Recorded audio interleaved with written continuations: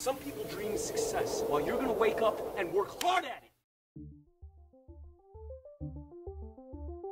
You Andreas was known for having some of the best conditioning out of any IFBB pro of all time. So not only was he able to be, you know, extremely conditioned, but he also brought a really decent amount of size to the game. Andreas Munzer, the most shredded of them all, the most diced to the socks mofo that ever walked on this bit right here.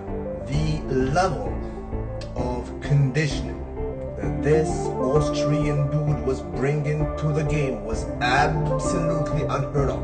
Until today, he challenges uh, the likes of Branch Warren. Basically, the skin was you know, sub 2% body fat we're talking about here, bro. This is something unheard of. It was absolutely outstanding. The level of condition again was absolutely stupendous. This is not Photoshop, this is reality.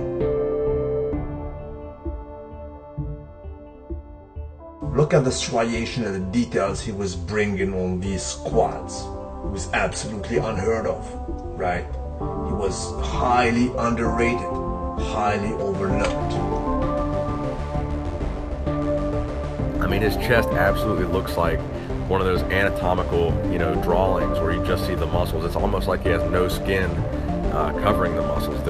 Like the striations on his chest, man, were just absolutely insane and just look like something out of a, you know, anatomy book. They look straight out of one of those drawings.